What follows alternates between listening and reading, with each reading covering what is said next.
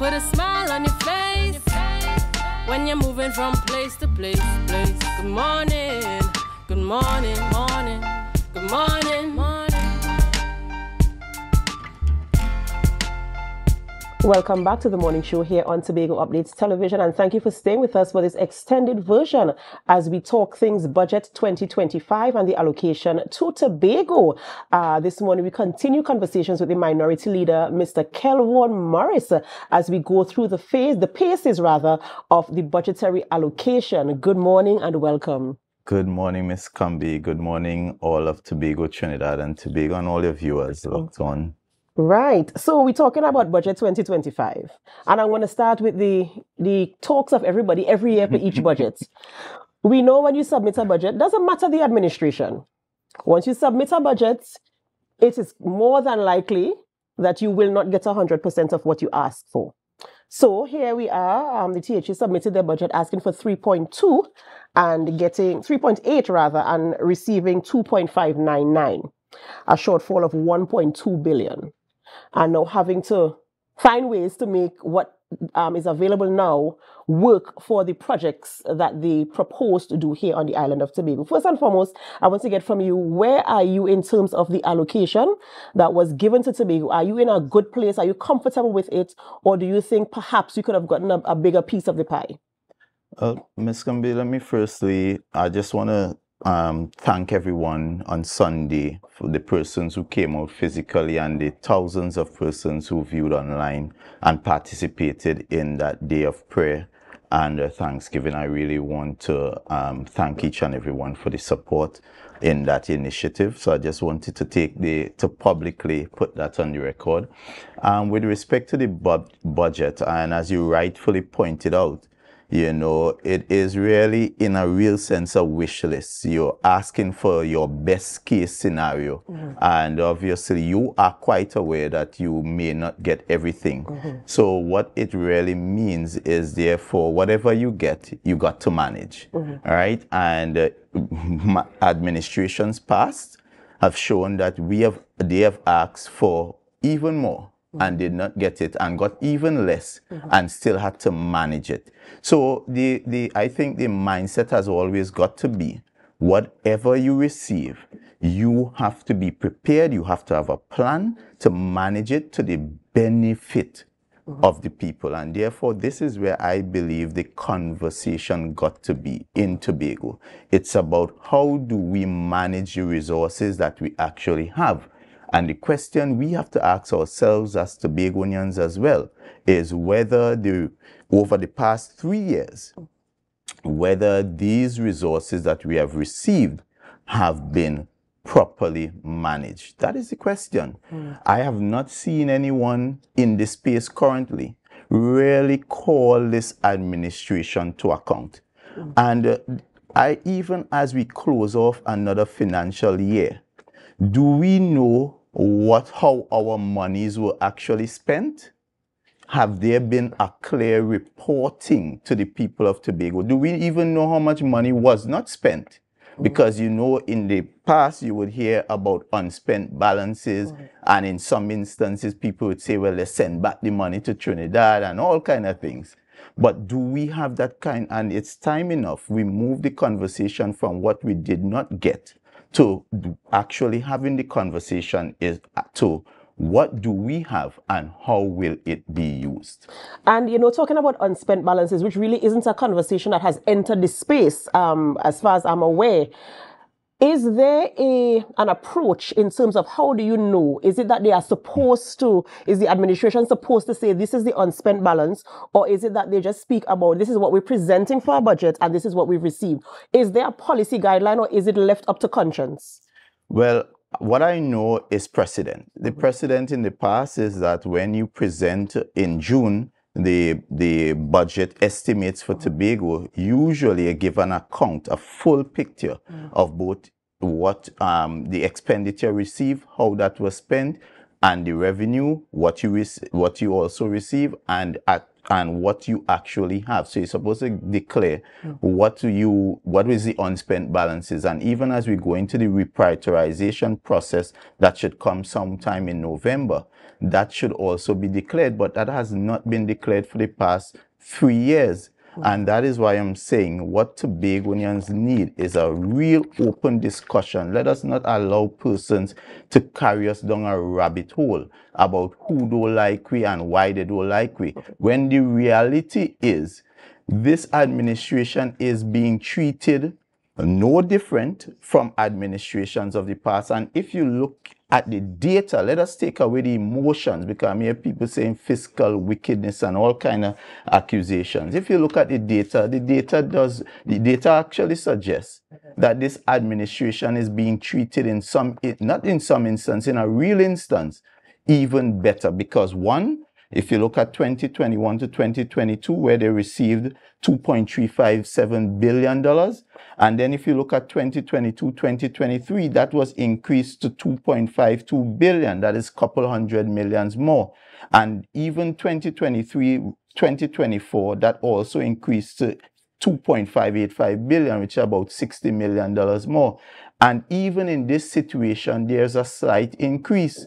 So I don't know how, in a real sense, somebody who is saying don't like you continue to give you more. And even more important, is the fact that in receiving more, you are getting it on even more favorable terms because the PNM of the past recognized that the country on a whole had a challenge with cash flow and agreed with the central government on request of the finance minister that perhaps because we have the cash flow for, um, issues, we will accept the, the transfers month to month. Mm-hmm. This arrangement currently, the, the chief secretary indicated that he prefers to get it because the law prescribes that you get it on block quarterly. Mm-hmm. Chief secretary says he understands, but give us the two months in advance and we'll get the third, the, the final tranche in the third month.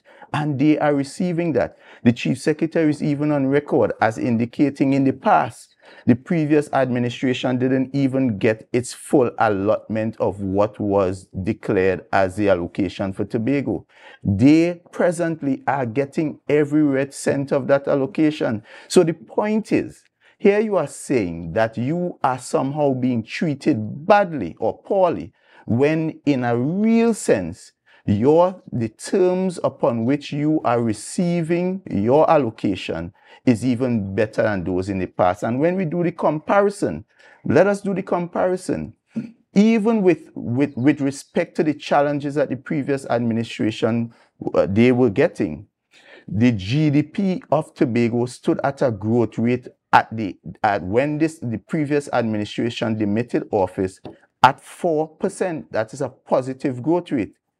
Currently, even with receiving more resources, the GDP of Tobago is at negative 2%.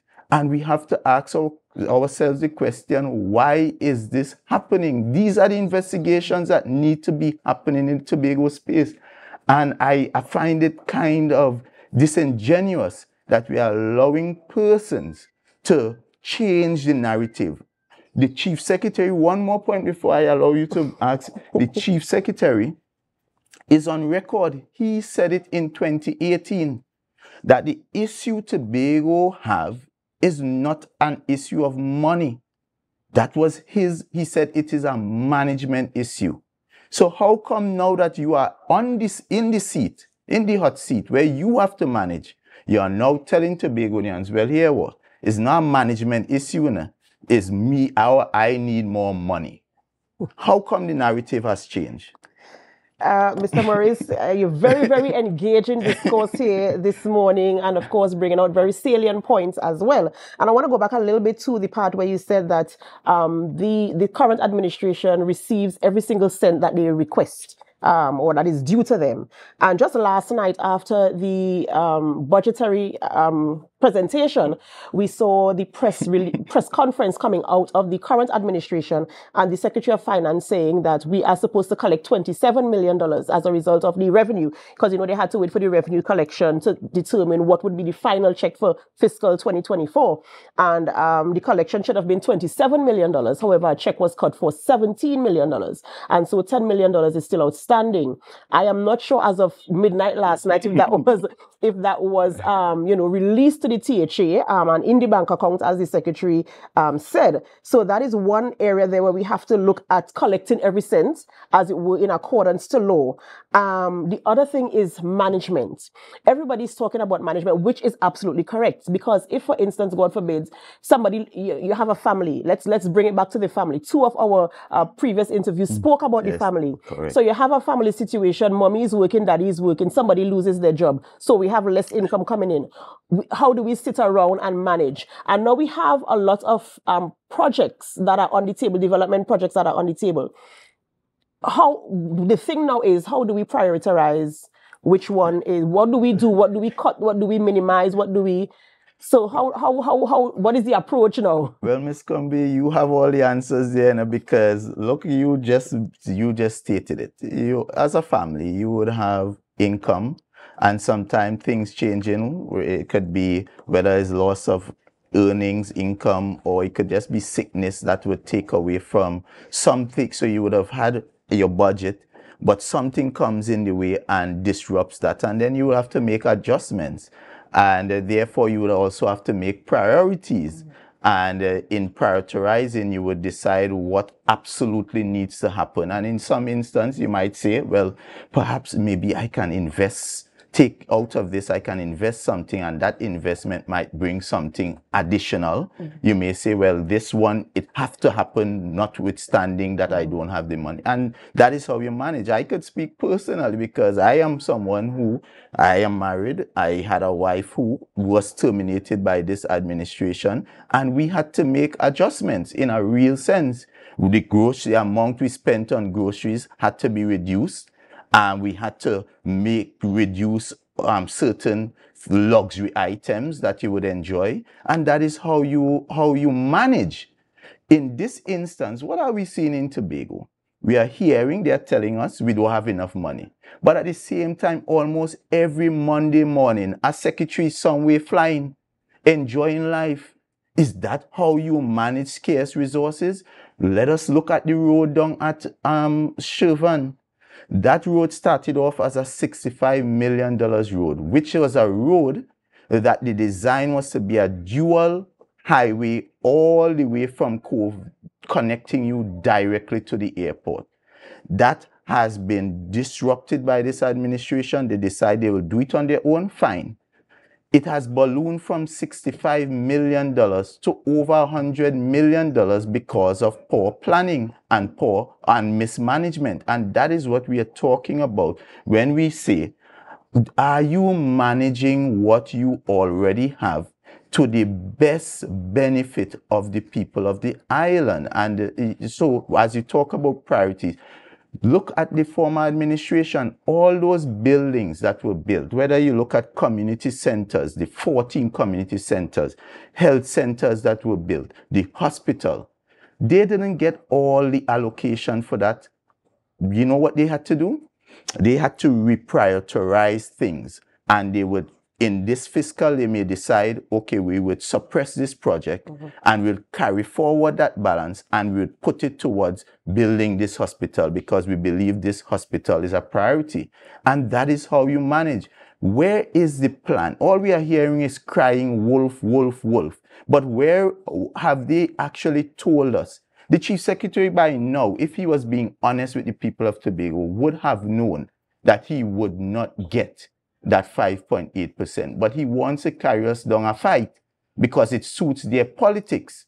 But if he was planning properly and prudently, he would have had a contingency plan that tells us we will get about 2.5 or 2.6 billion dollars and plan for it. Right. In conversations yesterday, I interviewed the um, Secretary of Finance yesterday, and um, you're saying um, if the Chief Secretary already knows, we everybody knows that we would not get the 5.8 percent, and I don't think they went in um, thinking we're going to get this 5.8 percent. No, well, they brought a bill. Eh? They brought a bill, a motion actually on Thursday still trying to hoodwink Tobagonians about that 5.8% because it suits their politics. And even I want you to see the disingenuity in this administration. We said, here what? We hear if money is a problem because you're saying you need more money, you need more money, you need more money.